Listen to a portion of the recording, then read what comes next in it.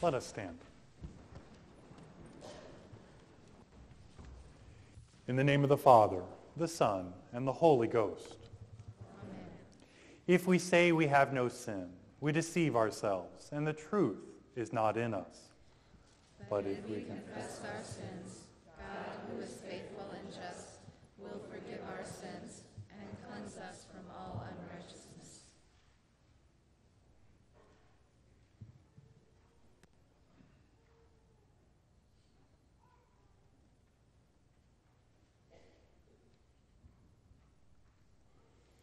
Let us then confess our sins to God our Father. Most merciful God, we confess that we are by nature sinful and unclean.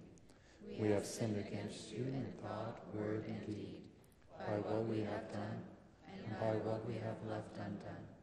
We have not loved you with our whole heart. We have not loved our neighbors as ourselves. We justly deserve your present and eternal punishment. For the sake of your Son, Jesus Christ, have mercy on us. Forgive us, renew us, and lead us, so that we may delight in your will and walk in your ways to the glory of your holy name. Amen. Dear beloved, I have good news. Almighty God in his mercy has given his Son to die for you, and for his sake forgives you all your sins. As a called and ordained servant of Christ, and by his authority, I therefore forgive you all your sins in the name of the Father, the Son, and the Holy Ghost.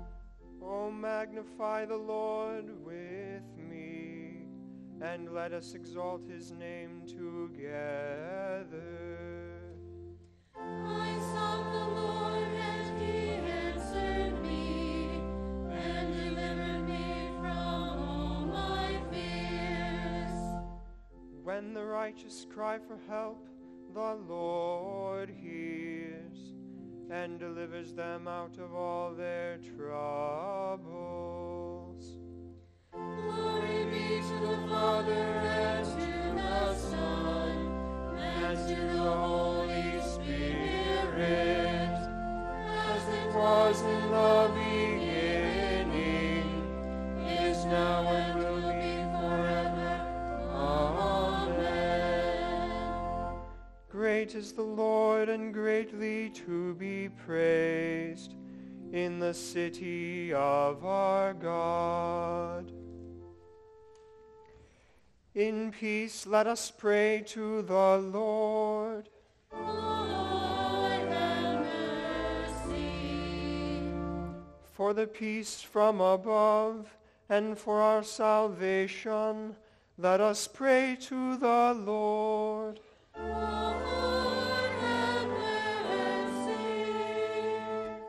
For the peace of the whole world, for the well-being of the Church of God, and for the unity of all, let us pray to the Lord.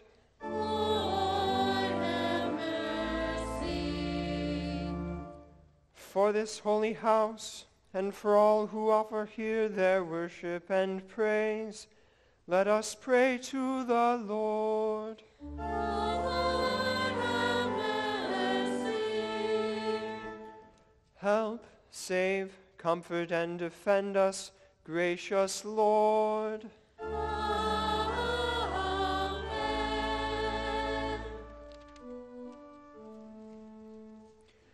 This is the feast of victory for our God.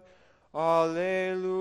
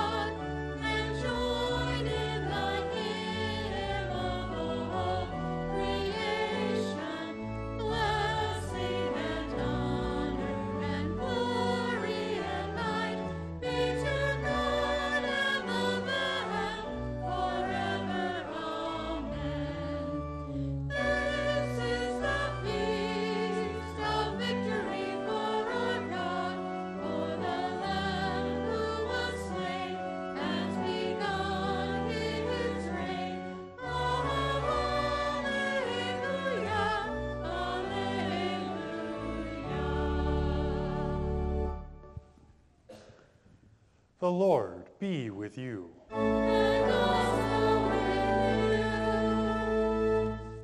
Let us pray. Almighty God, you show mercy to your people in all their troubles. Grant us always to recognize your goodness, give thanks for your compassion, and praise your holy name through Jesus Christ, your Son, our Lord, who liveth and reigneth with thee in the Holy Ghost, one God, now and forever. Amen. You may be seated.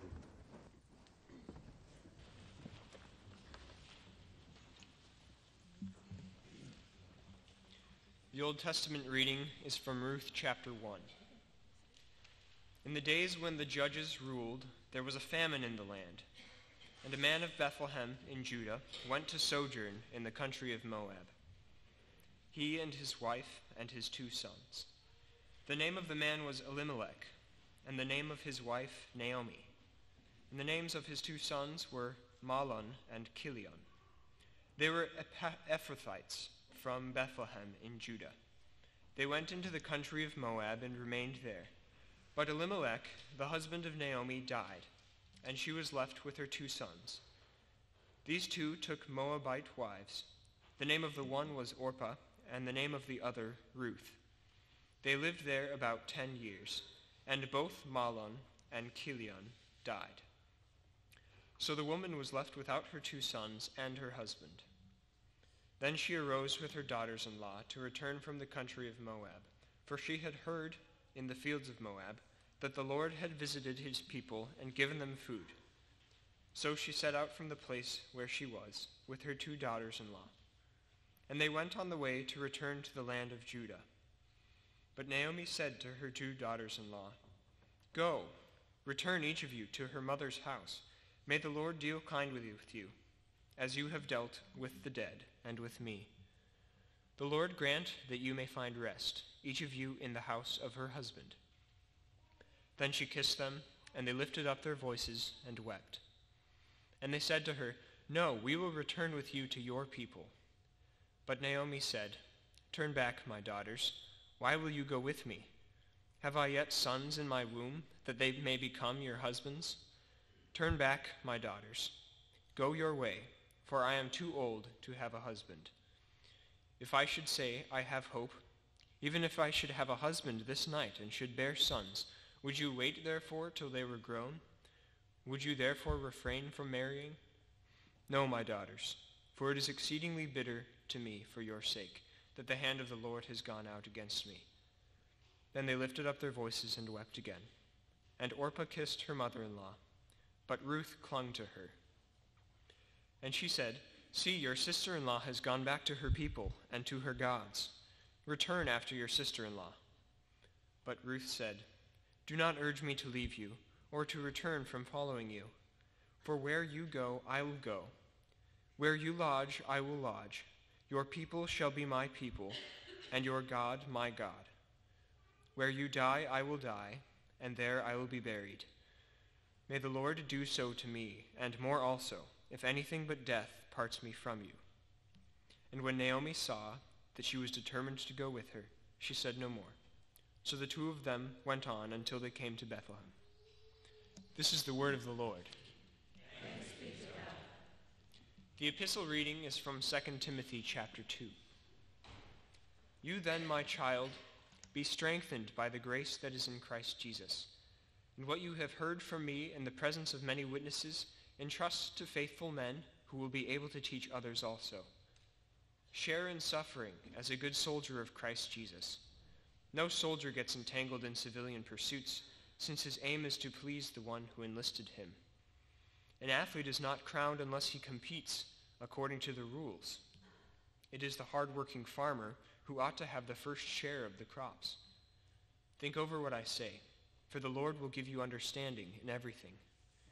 Remember Jesus Christ, risen from the dead, the offspring of David, as preached in my gospel, for which I am suffering, bound with chains as a criminal. But the word of God is not bound. Therefore I endure everything for the sake of the elect, that they may also obtain the salvation that is in Christ Jesus with eternal glory. The saying is trustworthy, for if we have died with him, we will also live with him. If we endure, we will also reign with him. If we deny him, he will also deny us. If we are faithless, he remains faithful, for he cannot deny himself. This is the word of the Lord. We stand for the reading of the gospel.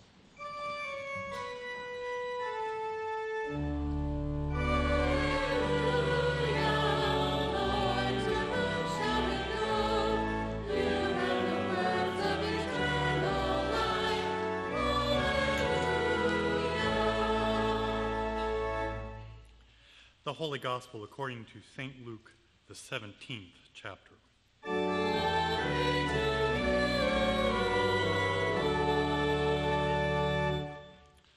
On the way to Jerusalem, Jesus was passing along between Samaria and Galilee. And as he entered a village, he was met by ten lepers who stood at a distance and lifted up their voices, saying, Jesus, Master, have mercy on us. When he saw them, he said to them, Go and show yourselves to the priest. And as they went, they were cleansed. Then one of them, when he saw that he was healed, turned back, praising God with a loud voice, and fell on his face at Jesus' feet, giving him thanks. Now he was a Samaritan. Then Jesus answered, Were not ten cleansed? Where are the nine? Was no one found to return and give praise to God except this foreigner? And he said to him, Rise and go on your way. Your faith has made you well. This is the gospel of the Lord.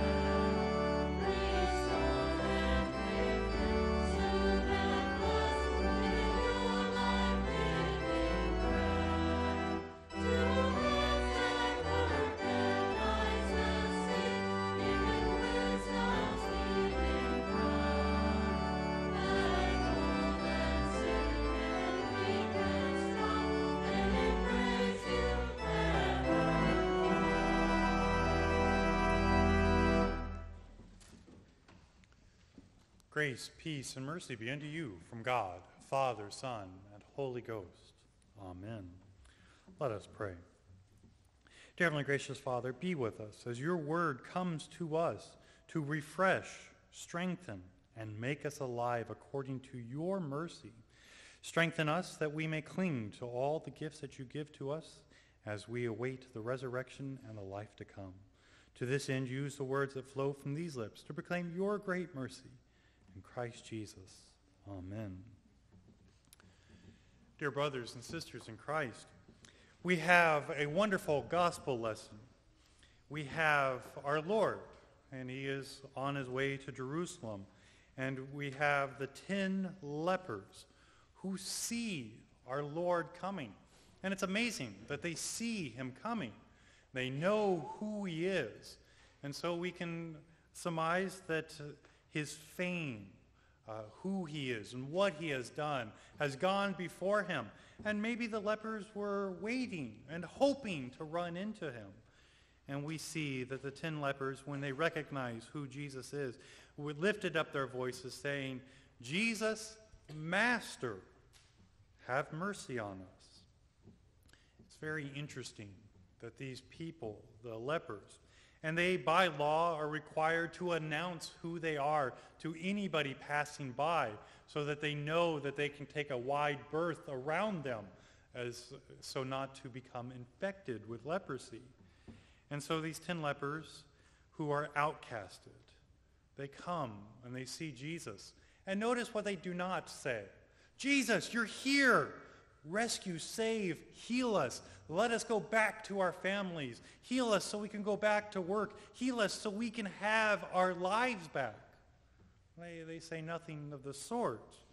They simply say, have mercy on us. It is here in those words that we find the work of God given and delivered to us. We see that he says, go, Jesus says, go and show yourselves to the priest. And they leave. And I'm curious. I, I don't know what the discussion was as they were walking uh, to go to the temple, to go show themselves to the priest, when it dawned on them that they were clean, that their skin was healed. For we must remember that leprosy was this horrible disease. It was literally your skin and your body rotting as you lived and suffered through that. So as they were walking to go, one of them realizes, I'm clean, and stops, turns, and goes back to Christ. And the ten continue to go to the temple. This is an interesting thing that only one figures this out. And with this, we see that he does, uh, he goes to Jesus and he falls on his face and he worships. He praises God. He sees where this work comes from. Now, the great thing about this, and the thing that we get to see, is where are we? Who and what are we? You heard in the announcements that we are in the midst of the stewardship campaign. The little blue sheet was in your bulletin. And uh, a month ago, when the stewardship committee was talking about this, they pointed this text out. And I got excited because what a great chance to guilt you guys into doing what you need to do for stewardship. But that would be a misuse of the text. It would be a misuse of what our Lord gives to us. Because you don't hold the blue sheet and we don't yell, Lord, have mercy on us. We get to see who and what we are. We get to see where we are. Last week we talked about the preparatory rite, the confession and absolution. We stand outside of the chancel and we confess to God our sinfulness. We confess to God our need for what he gives and delivers through Christ our Lord. And then we enter in and we had the introit. And in the midst of the introit, we have made it into the chancel. We stand before the Holy of Holies and we thank and praise God. We sing of what he is doing and we are in the presence to receive. And then we change. We move into the Kyrie and we start saying, Lord, have mercy. We echo what the, the lepers have said. And it's interesting, we do this right before the altar. Now, we just confessed our sins. Our sins have been taken away. We have been pronounced forgiven. We have been pronounced alive. We have been pronounced righteous. We've made it before the altar of God. So why are we once again laying ourselves out and saying, Lord, have mercy? The whole tone changes. We take a somber attitude. We take a somber tone before the altar when we announce, profess, and state, Lord, have mercy. It is in those words we do what the lepers do. We recognize that God in Christ our Lord is the only place in which we can find mercy, the only place we can have mercy. And so we stand before the altar of God and we lay ourselves out and we say, Lord, have mercy. And in this statement, we are commending ourselves to God, to his care. We are saying, God, you have forgiven us. God, you have brought us here in this place. And we are responding to your love, your compassion, your pity, your peace, your forgiveness, your mercy. Continue to have mercy. Continue to deliver your gifts. Continue your faithfulness upon us. This is the covenant of God. For God has promised to come and deliver himself to us. And we stand before the altar, before the mercy seat, and we say, Lord, continue your mercies upon us. Let us live there according to your mercy, as you continue to give us your forgiveness, as you continue to lay your righteousness upon us. Which kind of takes us right back to uh, what St. Paul is telling us in the letter to Timothy. Uh, St. Paul tells us, but the word of God is not bound. This is a huge statement because if anything needs to be bound, it's us.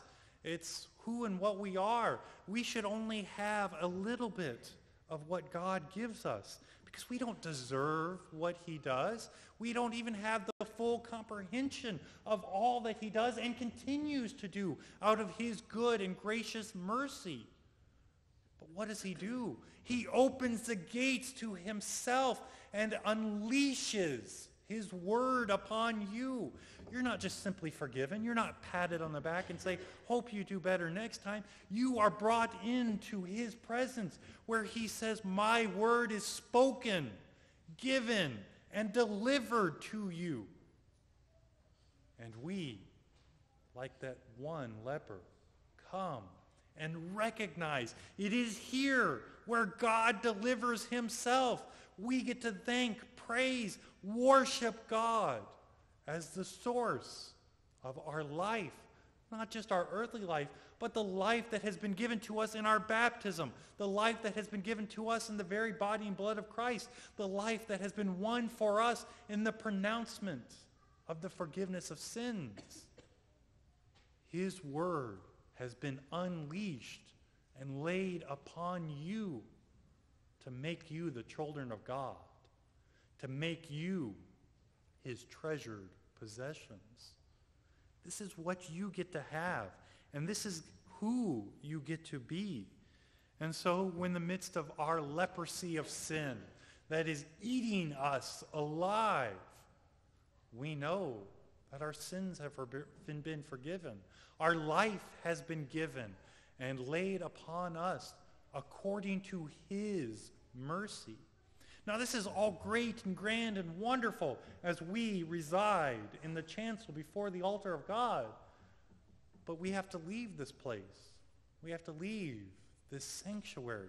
And we go back out into the world. But we don't leave this here. We don't say, oh, that was great. I got to go back to work.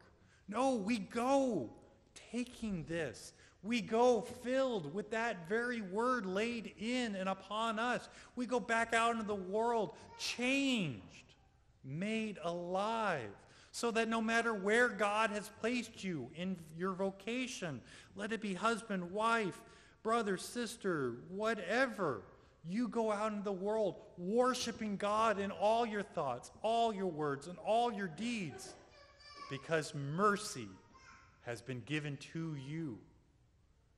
You get to go out into the world in mercy, to show mercy, to have mercy. For that is exactly what has been given to you.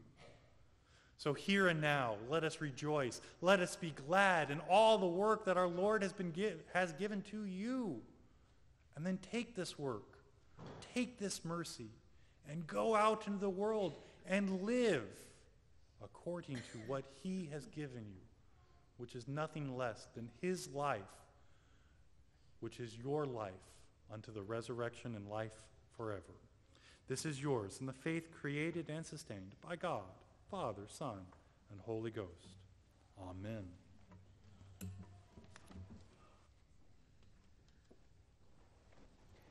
We stand and confess together the words of the Nicene Creed.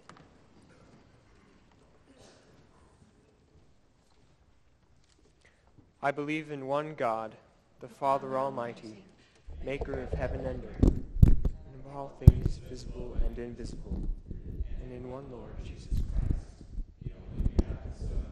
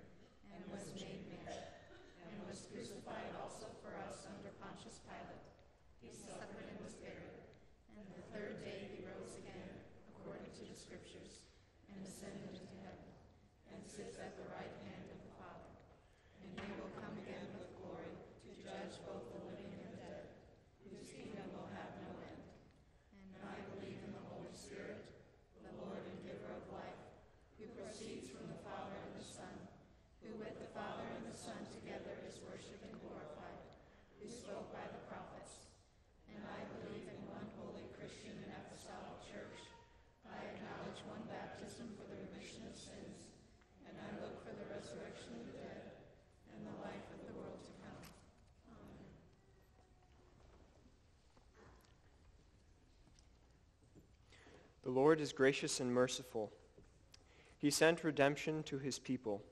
Even if we are faithless, he remains faithful. So let us lift our prayers to his throne of grace. Faithful Lord, in the midst of trouble and in the face of death, grant to us the faith you gave to Naomi, so that we never doubt that you will provide our daily bread and carry us through the shadow of death. Assure us when we face persecution for our faith, that when we have died with Christ, we will also live with Christ. Guard and strengthen our brothers and sisters around the world who are persecuted for the faith. Lord, in your mercy.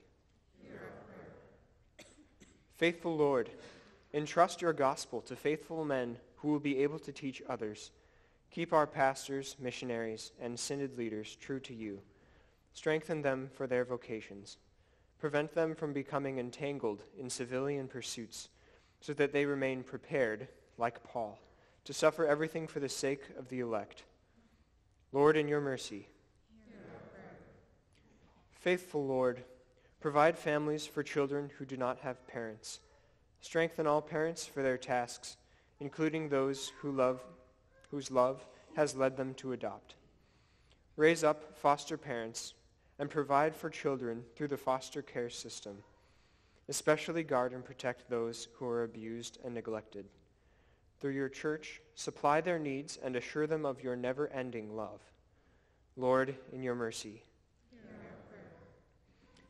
Faithful Lord, as you used Naomi and Ruth to care for each other, use us to be caring friends who are willing to sacrifice for each other and declare together, your people shall be my people, and your God my God. Thank you for the example of trust in you and the loving deeds for each other that have been set by all your saints. Lord, in your mercy. Faithful Lord, turn the hearts of unbelievers to trust in Jesus Christ. Bestow on them faith that makes them well. Change the hearts and minds of those in our society who misuse your gift of marriage and permit the murder of unborn children. Teach them and us that doing what you command is not burdensome, but makes our lives together fuller and more meaningful. Lord, in your mercy. Faithful Lord, as you cleanse the lepers by the gracious working of your Son, bring your help and healing into the lives of those who suffer in any way today Grant them patience, faith, and trusting hearts. Especially we pray for Doris, Elaine, Dana, Karen, Kathy, Pat, Mary, Craig, Ron and Sandy, Virginia, Joanne, Frank, Chuck, Kelsey, Bill, Cynthia, Dorothy, Brenda, Harley, Steve, Ellen, and for Pastor Larry Eckhart and members of Island Lutheran Church. Whether you heal, heal their bodies now or at the resurrection, teach them and all of us to join the cleansed leper in singing thanks to you. Lord, in your mercy. Faithful Lord, you provided food for the bodies of Naomi and Ruth. Provide food for both our bodies and souls as you nourish us with the body and blood of your Son and our Redeemer. Grant us faith that approaches your table with repentance and leaves your table strengthened to do your work in this world. Lord, in your mercy. Into your hands, faithful Lord, we commend all for whom we pray, trusting in your mercy through Jesus Christ, your Son, our Lord, who lives and reigns with you in the Father and the Holy Spirit, one God, now and forever. Amen. You may be seated for the offering.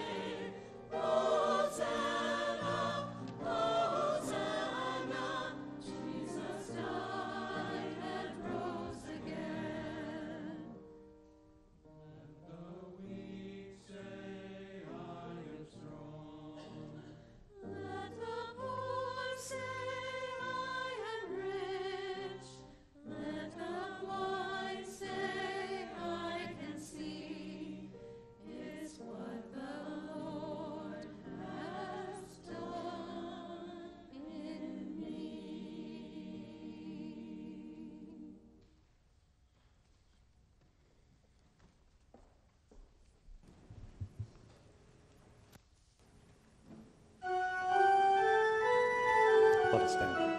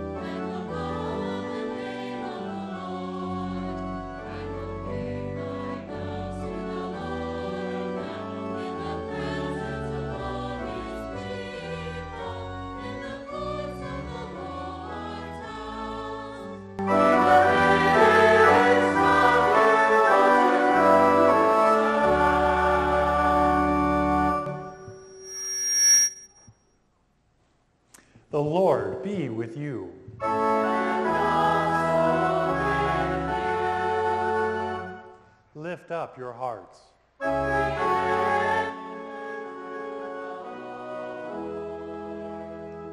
Let us give thanks unto the Lord our God.